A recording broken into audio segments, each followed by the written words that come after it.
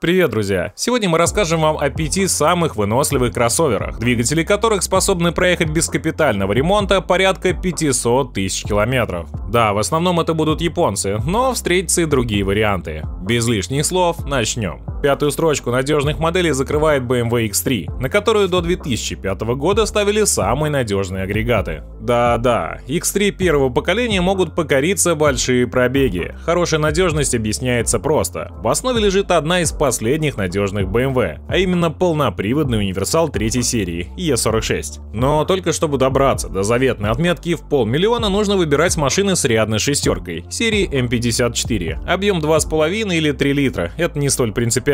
Такие двигатели ставили до 2005 -го. А вот после 2005 появились слабые места, которые прописались под капотом, серии N. Про надежность пришлось забыть. Проблемы у этих двигателей начинались уже после 100 тысяч километров. Если вы сможете найти автомобиль со старым агрегатом, за которым действительно следили, то X3 первого поколения вполне сможет соперничать в надежности с японцами. На четвертой строчке неубиваемый автомобиль, и это Mitsubishi Outlander первого поколения, который появился далекие 20 лет назад, но его до сих пор частенько можно встретить на дорогах. Под капотом классические бензиновые атмосферники, двухлитровый 4G63 или 2,4 литра 4G69. Оба очень живучие и выносливые, хотя и не блещут динамикой. К слабым местам Outlander относится подвеска, которая требует вмешательств каждые 150 тысяч. Реже подводит электроника. Интерьер и краска быстро теряют лоск, это частое свойство японских машин. В остальном же никаких проблем. Озвученные двигатели не доставят никаких неудобств. Но если вторичка вам не по душе, конечно, можете рассматривать и новые автомобили, и выгоднее всего это сделать на сайте компании Автоспорт. Это большой агрегатор, на котором собраны самые выгодные предложения от всех официальных дилеров. Кроме того, вы наглядно сможете увидеть, сколько можно сэкономить при покупке за наличные в трейдин или кредит. Останется сделать заявку на официальном сайте и ждать звонка менеджера, после чего забрать автомобиль у ближайшего официального дилера. Просто, удобно и совершенно бесплатно. Ссылка будет в описании, ну а мы вернемся к рейтингу.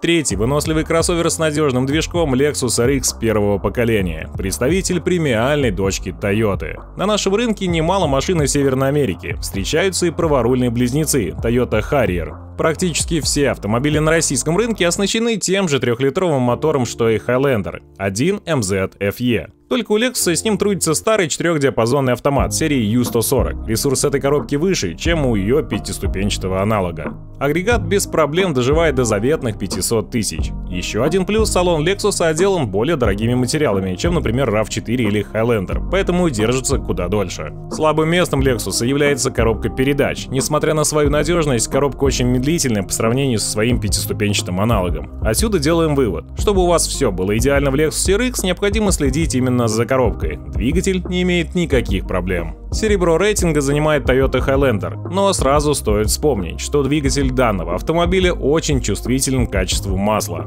Полноразмерный кроссовер Highlander первого поколения выпускался с 2000 по 2007 годы, с движком на 2,4 литра, аналогичным Рафику. Но больше всего на рынке машин было с 3-литровым V6 серии 1 MZFE, о котором мы только что говорили. При должном уходе трехлитровая бензиновая шестерка вполне способна преодолеть полмиллиона километров. Все основные агрегаты крайне крайне надежны. Да, о чем мы говорили? О масле. Залогом успеха этого кроссовера является своевременная замена масла и контроль его уровня. Слабым местом является быстрая потеря товарного вида внутри и снаружи. Чуть раньше может потребовать ремонта пятиступенчатый автомат U151. Но при отсутствии постоянных вылазок на бездорожье и своевременной замене масла эта коробка способна добраться до тех же 500 тысяч без полной переборки. Заслуженная вторая строчка нашего рейтинга. Ну вот и первое место. Конечно, это Toyota RAV4 с вечным мотором. Практически все RAV на нашем рынке оснащены бензиновыми движками. Да, машины прошлого и даже третьего поколения массово отметку в 500 тысяч километров так и не достигли, а вот рафики второй генерации 2000-2005 год свои полмиллиона уже пробежали. По ним видно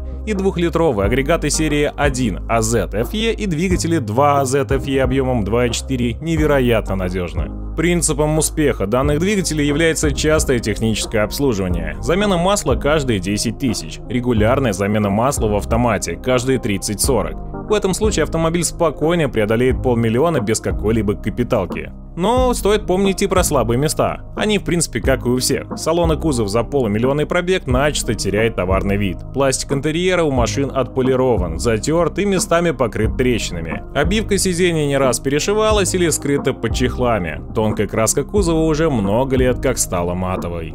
Назревает один самый главный вопрос. Что важнее, надежность двигателя или презентабельный внешний вид? Пишите ваше мнение в комментариях, ставьте лайк, если понравился этот рейтинг, и, конечно, подписывайтесь, если еще этого не сделали. Вы были на автомобильном канале Про Авто. До скорых встреч!